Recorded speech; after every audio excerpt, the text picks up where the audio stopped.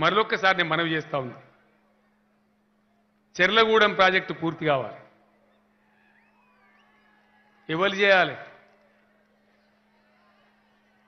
ఆపుతున్నది ఎవరు? ఒక రాష్ట్రం ఏర్పడితే ఒక ఊర్లో ఇద్దరు అన్నదమ్ములు ఏర్పడితే పెద్దలు ఏం చేస్తారు? గిది నీదిరా గిది నీదిరా అని పంచుతారు. అంతేనా? ఎనిమిదేళ్ళు అయిపోయింది.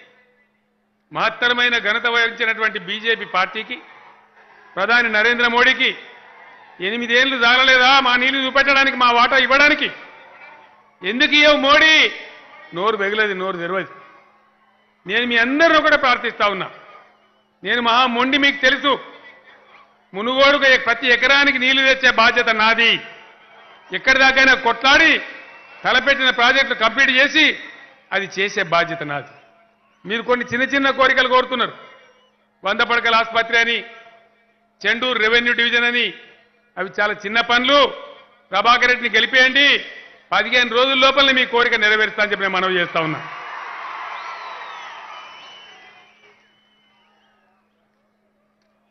దేశంలో రోడ్లు బాగాలేవని అంటుండే అక్కడ నుంచి ఒక అన్న. నాకు తెలుసు గోజ గోజ లాంటి ప్రభాకర్ రెడ్డిని ఉడగొట్టి గొడ్డలిని తెచ్చి పెట్టుకున్నారు మీరు. నిజమైన అర్థమైందా నేను చెప్పింది?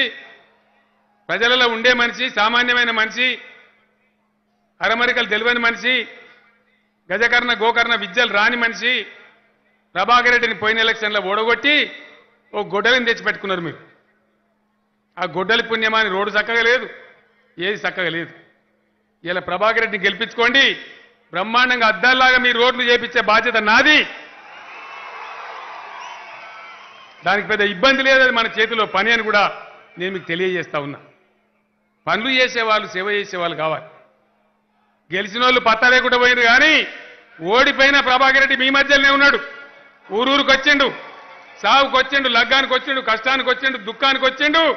మీ మధ్యలోనే మీ మనిషిలాగా బతికి నేను ఓడిపోయినా అని బాధ పడలే. కాబట్టి ఇట్లాంటి వాళ్ళని పనిచేసే వాళ్ళని గెలిపించుకుంటే మీ పని చేస్తారు మీ సేవ చేస్తారు. దయచేసి ఆ విధంగా మీరు సహకరించాలని నేను కోరుతా ఉన్నా. దేశం చక్కదనం ఏముందండి? పైన పటారం లోన లోటారం. డంబాచారం మాట్లాడితే విశ్వగురు విశ్వగురువా విషగురువా? నరకుడు నరికితే ఇన్నించి అందాక? అరాచక కిరాతక రాజకీయాలు చేసుకుంటూ రాష్ట్ర ప్రభుత్వాలను కూలగొట్టుకుంటూ రాజకీయాలను అస్థిరపరుస్తూ సమాజాన్ని అతలాకుతలం చేస్తున్న దుర్మార్గమైన మతోన్మాద బీజేపీ.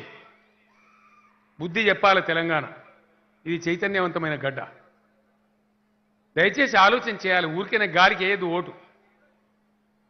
డాలర్కు వ్యతిరేకంగా రూపాయి చూస్తే ఎనభై రెండు రూపాయలా? నేపాల్ కరెన్సీ కన్నా పాకిస్తాన్ కరెన్సీ కన్నా బంగ్లాదేశ్ కరెన్సీ కన్నా అధ్వానం ఉంటుందా? తెల ఇండియా ఆకలి రాజ్యాంగం మారుతుందా?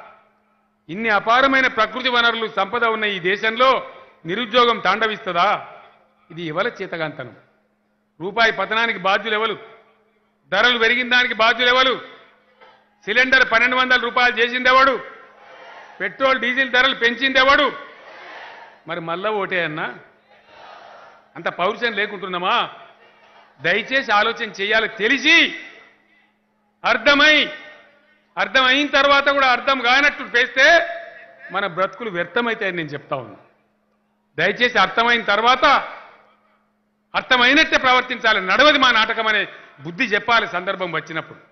ఆ సందర్భమే మీ చేతిలో ఉన్న ఆయుధం మీ ఓటు. ఆ ఓటును సక్రమంగా వినియోగిస్తే ఇటువంటి వాళ్ళకి బుద్ధి వస్తుంది జ్ఞానం వస్తుంది. ఈ నాటకాలు నడవై ఈ ప్రైవేటీకరణ నడవది. కరెంటు ప్రైవేటీకరణ అంటే ఏం తెలుసా? ఇంత భయంకరము? డెబ్బై ఐదు సంవత్సరాల స్వతంత్ర దేశంలో మనం ఇచ్చిన డబ్బులు మన ఆస్తులతోని అనేక లక్షల కోట్ల రూపాయలతోని నిర్మాణం అయినది మన భారత విద్యుత్ శక్తి సంస్థలు. ఈ లక్షలాది కోట్ల రూపాయలను వట్టిగానే పేరాలు పుట్టినాలు ఇచ్చినట్టు ఇచ్చేస్తాడు ప్రైవేట్. వాడేమి ఇయ్యడు.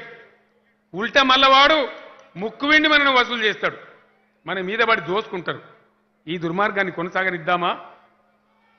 ప్రభుత్వ రంగంలో ఉండేటువంటి ప్రజా పెట్టుబడులను కాపాడదామా? ఈ ప్రైవేట్ కార్పొరేట్ గద్దలకు అప్పచెప్పుదామా దయచేసి ఆలోచించమని నేను కోరుతా ఉన్నా. పండిన పంట కొనురా మా వడ్లు కొనురా అని ఢిల్లీ దాకా పోయి మొత్తుకుంటే వడ్లు కొనుడు శాత కాదు. కానీ వందల కోట్లు సంచలనలో పట్టుకొని ఎమ్మెల్యేలు మాత్రం కొంటామని వస్తారు. ఇంతకన్నా సిగ్గుమాలిన పని ఇంకోటి ఉంటుందా? వడ్లు కొనుడు శాత కాదు కానీ వంద వంద కోట్లు ఇచ్చి ఎమ్మెల్యేల కొనుడు మాత్రం శాతనవుతుంది ఈ బీజేపీకి బుద్ధి చెప్పన్నా వద్దా దయచేసి ఆలోచించమని నేను మిమ్మల్ని అందరినీ కోరుతా ఉన్నా. వీటన్నిటికీ మనం జవాబు చెప్పకపోతే మన ఓటు ద్వారా మనము తిరుగుబాటు చేయకపోతే ఈ ఆటలు నడవయనే సందేశం ఈ ఎన్నిక ద్వారా ఇయ్యకపోతే దయచేసి వాళ్ళు ఇష్టారాజ్యం చేస్తారు అరాచకం చేస్తారు. మేము చేయగలిగింది కూడా ఏముండదు. మేము కానీ వామపక్షాలు కానీ ఇరవై రోజుల నుంచి మీకు చెప్తా ఉన్నారు. గల్లీ గల్లీ తిరిగి చెప్తా ఉన్నారు. ప్రతి ఊరికి వచ్చి చెప్తా ఉన్నారు. ప్రభాకర్ రెడ్డి గారు ఇతర నాయకులందరూ చెప్తా ఉన్నారు. ఇంటింటికి వచ్చి చెప్తా ఉన్నారు. దాన్ని ఆశామాషిగా తీసుకోవద్దని నేను చెప్తా ఉన్నా. నేను ఒక్కడే మాట మీకు చెప్పేది. అన్యాయం జరుగుతుంది గ్యాస్ ధర పెరిగింది పెట్రోల్ ధర పెరిగింది మీటర్ పెడతారట చేనేత జిఎస్టీ ఎత్తారట. దాని మీద కొట్లాడాలి. కొట్లాడన్నా వద్దా? మరి కొట్లాడ కొట్లాడటానికి కత్తి ఒగని చేతిలో పెట్టి యుద్ధం ఇంకోని చేయమంటే వాడు చేస్తాడా? ఎవడైతే పెంచుతాడో వానికే కత్తిస్తే మళ్ళీ మనం ఎడ కోసేస్తారు. మనం అదే కత్తితో నరికేస్తారు. కాబట్టి కత్తి ఒకని చేతిలో పెట్టి యుద్ధ యుద్ధం ఇంకోని చేయమంటే ధర్మం కాదు. ఏ వామపక్షాలు ఏ క్రియాశీల పార్టీలు ఏ టీఆర్ఎస్ పార్టీలు ఏ ప్రగతిశీల రాజకీయ శక్తులు ఈ అరాచకాల మీద పోరాటం చేస్తున్నాయో వాళ్ళ చేతుల కత్తి పెట్టాలి.